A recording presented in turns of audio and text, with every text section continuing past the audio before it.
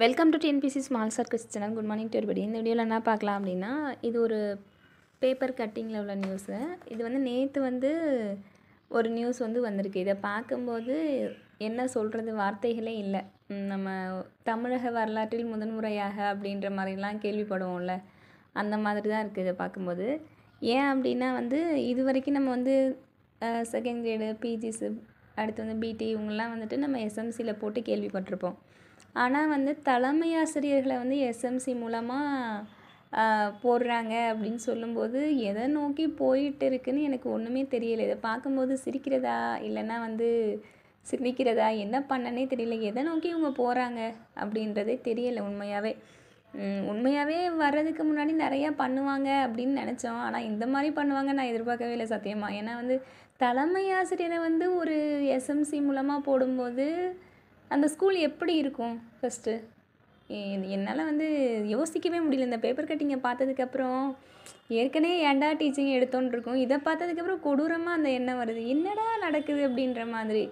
ஏன்னா வந்து இந்த க இது எப்படி இருக்குன்னா ஒரு பக்கம் பசிக்குது பசிக்குது சோறு தாங்க அப்படின்ற மாதிரி டெட்டு முடித்தவங்க இப்போ காம்படிட்டிவ் எக்ஸாம் முடிச்சுட்டு வேலைக்கு ரெடியாக இருக்கவங்க எல்லாம் இருக்காங்க.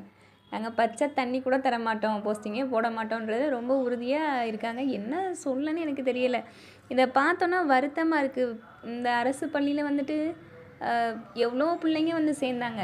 அப்போல்லாம் வந்துட்டு உண்மையாக டீச்சர்ஸை வந்து போட்டிருந்தாங்கன்னா எவ்வளோ பிள்ளைங்க இன்னும் கூட வந்திருப்பாங்க. ஆனால் வந்த பிள்ளைங்களாம் திரும்ப ரிட்டன் ப்ரைவேட் ஸ்கூலில் போனதுக்கு அப்புறம் தான் நாங்கள் வந்து போடுவோம். அப்போ தான் வந்து வேக்கன்சி வந்து குறையும் அப்படின்ற இருக்க மாதிரி தான் இருக்குது இதெல்லாம் பார்த்தா. சரி இந்த ப இந்த பேப்பர் கட்டிங்கில் என்ன இருக்குன்னு பார்க்கலாம். அதாவது உடுமலைப்பேட்டை உடுமலை பக்கத்தில் உள்ள